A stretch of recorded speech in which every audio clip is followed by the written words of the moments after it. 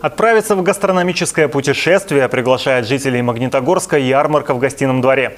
Покупателям предлагают продукты, произведенные в частных фермерских хозяйствах Адыгеи и Краснодарского края. Продавцы ручаются за качество своих колбас, сыров, приправ, чая и сладостей. Оценить вкус товара перед покупкой позволит бесплатная дегустация. Уже при входе на ярмарку вкусов покупателей буквально сбивает с ног запах специй и приправ. Столь ароматных и натуральных смесей не найдешь в магазинах города. Только здесь, на ярмарке, можно приобрести настоящий краснодарский чай. Пить его лучше всего с медом каштана или уникальным вареньем из сосновых шишек, еловых веток, либо грецкого ореха. Варенье из грецкого ореха э, у вас нет, у вас сам грецкий орех не растет. Поэтому у нас делают э, очень уникально, это очень большой процесс, занимает около полутора месяцев, да. Э, варят, настаивают, опять варят. Вот в нем очень много йода.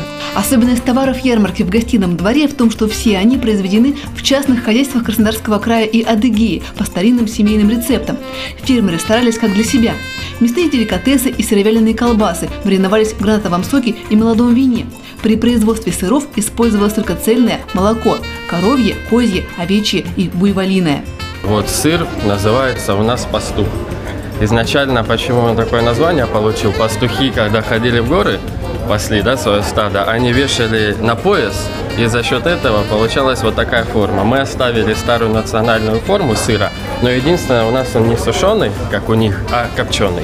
Копченые с плесенью, молодые и полутвердые. Только на этой ярмарке можно найти сыры, выдержка которых составляет от полутора до шести лет. Забыть их вкус невозможно. Так же, как невозможно пройти мимо копченой рыбы.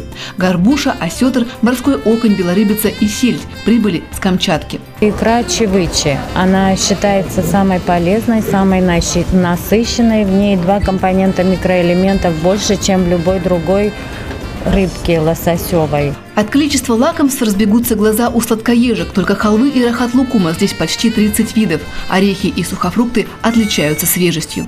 Мы купили перед черной горошком, всегда покупаем. Хмели сунели купили. Гранат очень понравился в чистом виде для салата. Купил аджику у них. Просто понравилось. Когда-то отдыхал в Адлере. Брал там. Ну, а здесь встретил их. Ну и решил еще взять.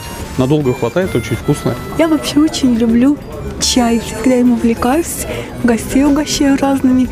А этого продавца я уже когда-то видела и к нему пришла целенаправленно, чтобы у него купить. Производители ярмарки уверены в качестве своего товара. Любую продукцию можно продегустировать и только потом принимать решение о ее покупке. Оценить незабываемый вкус натуральных продуктов можно на ярмарке в гостином дворе. Она расположена на первом этаже, вход со стороны проспекта Ленина. Елена Тимофеева, Виктор Исаев, телекомпания ТВИН.